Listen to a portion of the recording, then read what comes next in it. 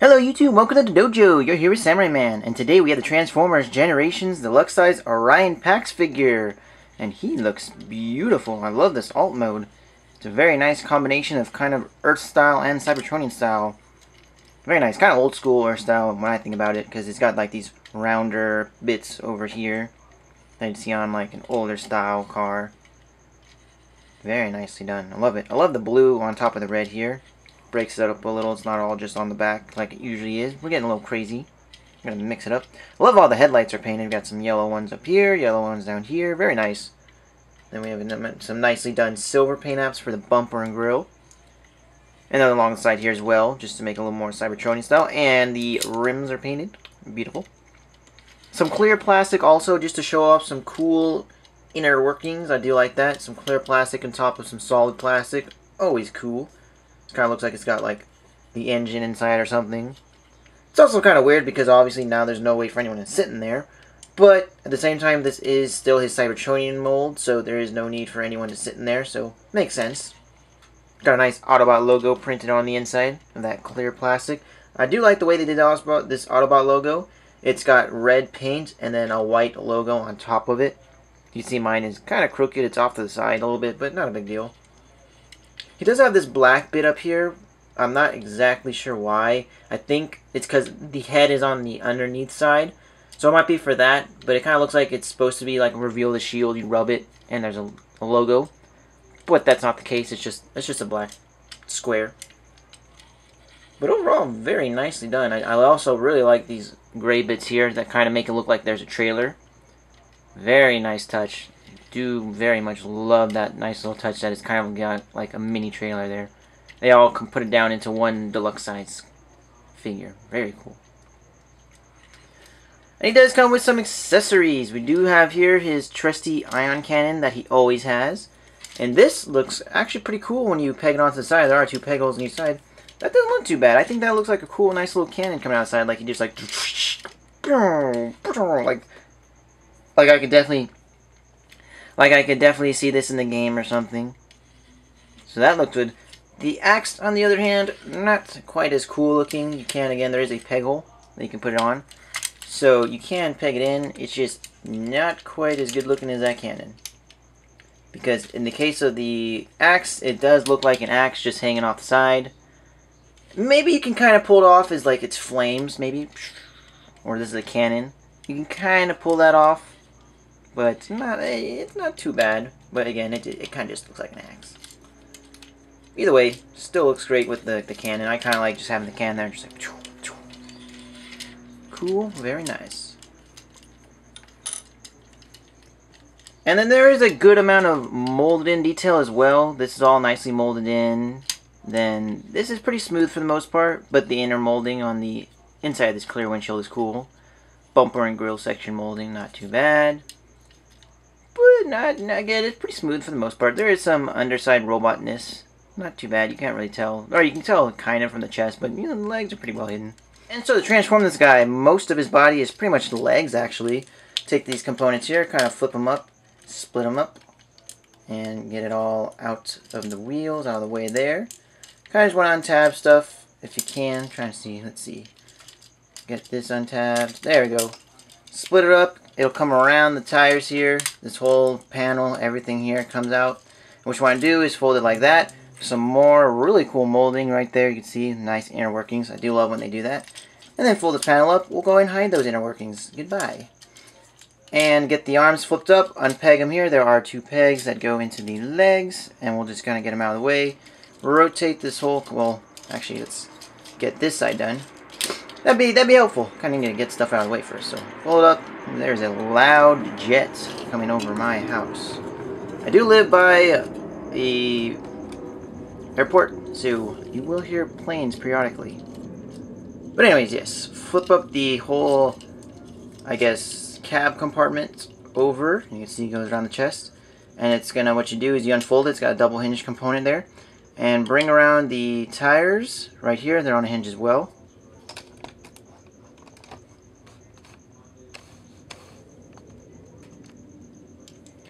Bring around a tire, they are on a hinge as well. Bring around both of them. and then kind of bring this forward and it's going to tab in right here at the front.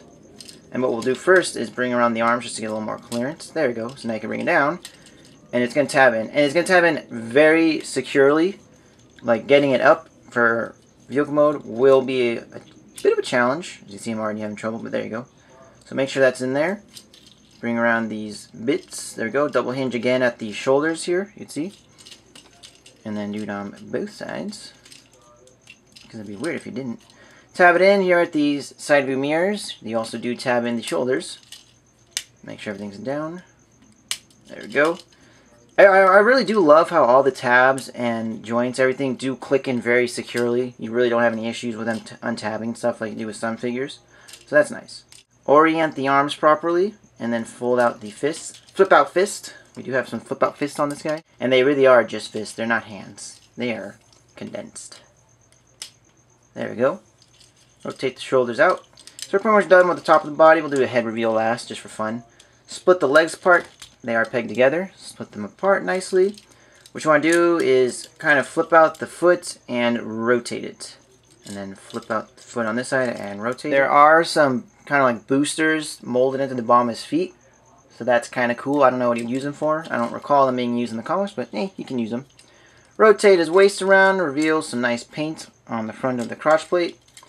Rotate the hands downward. Again, some more paint also, kind of reminiscent of Optimus Prime, the G1 style. He did have those logos on his arms. I don't know what they symbolize, but yeah, maybe they're just detail for the sake of detail. And then this here is going to be the knee plate, so just fold everything in here. Rotate it up and fold it in. There we go. Pretty much done. Just have one very important part. Flip out the head. And I'll form the head. There you go, clips in very nice. So again, everything is really secure. Nothing's coming apart unless you want it to. Unless you're trying to turn them back into vehicle mode, nothing's going to flip or anything. So Here we have Orion Pax in his robot mode glory. You can definitely see a good amount of Optimus Prime in this while still feeling that young apprenticeship in him from uh, Alpha Trion. And every time I talk, my ears pound and it's weird. What the heck is going on? You boy, I'll have to get that looked at. It's really, oh, it's driving me nuts. What the heck? It's like pound explosions. Oh, the louder I talk, the worse it. Oh my, this is weird. Oh my gosh, I'm freaking out kind of. Ugh, I'll try to ignore it. Deal with it after the video. Oh my, okay. Anyways, accessories, bam. He's got his gun and his axe as I showed before. And what you can do is put his gun in his hand, obviously. Very stiff. There you go. Or I was just doing it wrong. But bam, classic Ion Blaster. Looks just like his usual Ion Cannon Blaster thing that he always has. Optimus Prime is known for having this cannon. Just like Megatron is known for having his... What's the word I'm looking for? Fusion Cannon on his arm. Optimus Prime is known for having an axe and this cannon. And this specific design where it has a nice barrel and then this triangular chunk coming out the end. That's how you know it's an, a Prime gun. And, then, of course, the Energon axe which does look great. I think this is fantastic looking. So bam, there it is, ready to go. Let's fight some cons. Bludgeon! Bludgeon, where are you? Where is he? Ratchet! Where's Ratchet? Yes. You can get some good poses out of him. I'd say he's good, good posability. Bang. There he is. So for his articulation, you can rotate his arms upward. You can rotate him at the shoulder as well. And then you can spin him at the bicep. Nice rotation there. He's got a ratchety elbow, so that's very nicely done. And his fist can actually rotate, which is nice, because for some reason they, they'll make a figure where they'll have flip out fist, but then they just can't rotate them. This is a good way, you can flip it out and it rotates. It's not one or the other, so that's cool. His waist can rotate, it's part of transformation, so it has to. His thighs are on a ball joint, and they bend, and they rotate. Beautiful plenty of ankle movement due to transformation, but still it's all there. It is on this kind of like ratchet joint here, sort of, for the transformation, so it can go up and down a lot. Plus a ball joint at the base of the foot and shin. So you're going to get a lot out of it, which is awesome. And lastly, his head is on a ball joint. It's kind of hard to move it because you got this big back flap there on his head. But it is movable if you can get your fingers in there. Hopefully your fingers aren't huge like mine. And get it going. So yeah, lots of good articulation on this guy. I'm taking a look at that beautiful Orion Pax face. You can definitely know this is Orion Pax due to the fact that he does not have a faceplate. Optimus Prime is known for his faceplate. Orion Pax is known for not having the faceplate. But it varies. Some sometimes, you know, sometimes Optimus doesn't have a faceplate, but for the most part, he's pretty much known as the faceplate guy. They make it a strong point in this comic book that Optimus Prime is a faceplate guy. It was so heavily focused on the faceplate, even though it, it's it's kind of in a comical way, but I love it. It's very very nicely done. But that head sculpt is just so nice. It's a nice dark gunmetal gray, not just a standard silver. So I really do think that's cool, especially with this head crest here standing out. They did it, I, don't know how, but they did manage to do a good job of making it look very Optimus Prime, but Orion Pax at the same time. They did a good job of making it look like a young Optimus. I don't know how that's possible, but they did it. Eyes are nicely done in the light blue, sky bluish kind of, baby blue. Very well done. He does have light piping at the back of his head. I don't know why. He doesn't need it because his eyes are painted. But it's there. I mean, you know, maybe it'll help brighten up the color of his eyes by having that light piping. I'm not too sure. It's getting blocked off by this anyway, so yeah. And then he's also, again, you can see that beautiful Autobot logo with the inner mechanics of his chest. I think that looks great. So you can see comparison just for a more current figure. We have the Age of Extinction 2-pack, Evolution 2-pack Bumblebee. And they are about the same size. I'd say their chest and shoulders go about the same level. I think what makes him look a bit smaller is just his head is kind of small. So it's that's what's like making him look a little off because his head does feel really small for the rest of his body. So that could have been done a little better, but either way, you can see that it's not too bad of scale with everything else. So that's cool. Here we have Orion Pax with Optimus Prime from the Fall Cybertron video game. You can see who he's going to grow up to be, if they even consider it growing up at all. not bad in scale. I don't know. I think the same thing with Fall Cybertron. I think his head is a, a tad too small for the body, and that's what's offsetting him too, because he's got a pretty big body. And his head is just like, kind of teeny. But it's all part of the transformation, so maybe they could have transformed them each differently. Maybe that would have helped. Either way, I think they look kind of nice together, even though I don't know this is not quite what they're going for in the comic books. I still think they look good together. You can say this is where the evolution is. So transform him back, we'll go ahead and fold up the fist, flip out fist, flip in fist. Go ahead and flip out his head, or flip it back in. Very sturdy, so you're going to put a little pressure in there. And then you have to, again, unclip the tab here with the chest, just to get it out. And then rotate it, this part all up, because you do need to, again, with that double hinge, get it coming out. Oh, coming. Rotate those tires around. There we go. Ooh, I'm flipping everything out. Bring it back like this. Bring it back now, y'all. I'm just doing all these song references now. I don't know what's going on. It's a sing-along. This is a video with a sing-along. Bring back these shoulders on their double hinge. Rotate them upward. You want to have kind of these, this weird, like, upward groove stand or facing up. And have that come around. And let's see, do I have right? Oops, oops. Yes, bring it in. Just bring them both in on those double hinges. There we go. Again, they don't tab in together here, but they do just sit well. Once you just line them up, they'll stay. So that's nice. It didn't need a, a tab or anything. That's cool. And then we'll go ahead and rotate the feet around here. Just to get them going. Fold them up inward. They do sit very well in there. I do like that. They fill it in this whole uh, back section of the vehicle mode very well. So they did a great job on this altogether with this vehicle mode and robot mode. Flip out these portions again. Get this grill and everything, flip it all out. This forms most of the whole body actually. This forms the back of the legs, or the back of the, the vehicle mode, and this fills out the front. So that's pretty interesting how they managed to do that. So get this all lined up, bring this all back, tab them in together, get those going, and that pounding is just weird and bugging my ears. Anyways, line them up, line up this fist, get these gray bits facing outward. You want to have the peg holes facing downward and have the fist facing inward for that.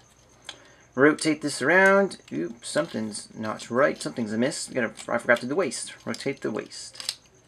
There we go. Bring this upward now. So you want to do the waist, rotate the waist, and then bring this back up. There we go. There it is. There we go. Now this you bring some around. Now you just bring this around. Kind of just line it all up with the front of the vehicle. Get the tire to come in through that groove. Obviously, I mean you should get that going there. And then you push in these tabs together. There we go. Or pegs. There we go. Bring it all around. And this actually does not have any tabs other than these two parts. You see that tab right there? Maybe. I don't know. Can you? Right there.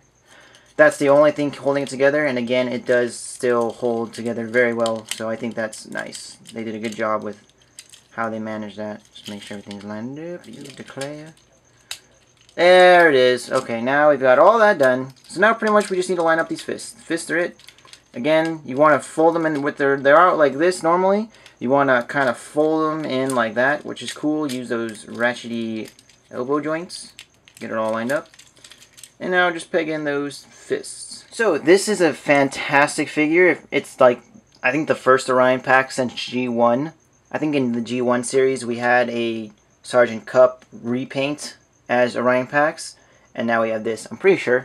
Don't quote me on that, but I don't, as far as I remember, I don't ever remember having an Orion Pax figure. So this is awesome. This so far is like the definitive Orion Pax figure. So if you're a fan of Orion Pax or Optimus or Transformers in general, comic books, I highly recommend this guy. He is awesome. He looks great. Both modes are fantastic. He's a very smooth transformation, very smooth joints. Awesome accessories. I love the axe and the cannon. I think they look great with the figure. I love the paint applications. They all look fantastic. The molding is really cool. Really, this figure just knocked it out of the park. Uh, obviously, the size could be a little bigger. I think the head could be a little larger. That's the, pretty much the only complaint I have. Other than that, he's just all around great. Like, how can you not own this figure?